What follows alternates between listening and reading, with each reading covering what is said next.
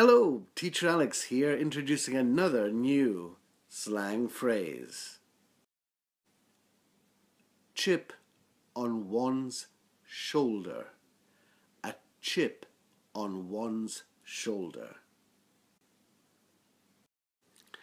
I suppose the best definition of this phrase is to say that a person has attitude.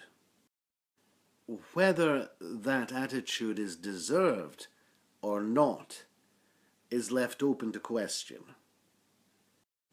For example, Gary seems to walk around with a chip on his shoulder looking for a fight. What is wrong with Norman lately? He's been angry since his wife divorced him. Got a real chip on his shoulder. Yeah, he's probably going to get into a big fight one of these days. A chip on the shoulder, a chip on one shoulder.